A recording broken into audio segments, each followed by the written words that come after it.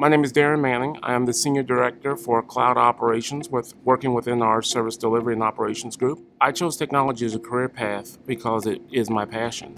When I was very young, I enjoyed electronic toys that you could program.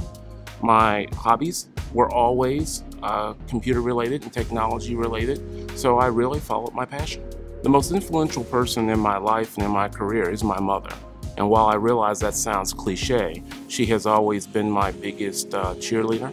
I can remember when I was young, not only was I interested in academics and technology, but I liked to run. I was really good at track. Uh, when I had an opportunity to choose an alternative school here in the local area, I wanted to go to CAPE. That was the Academy of Physical Education.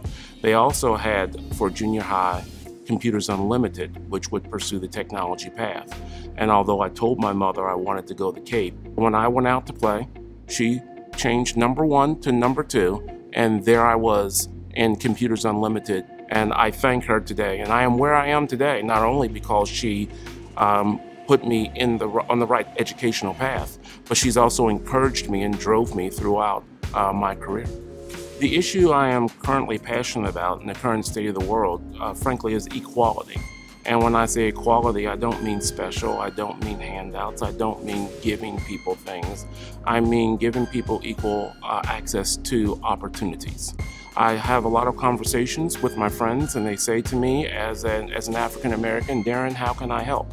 And I say to them, I only need you to recognize wrong when you see it and say that it's wrong.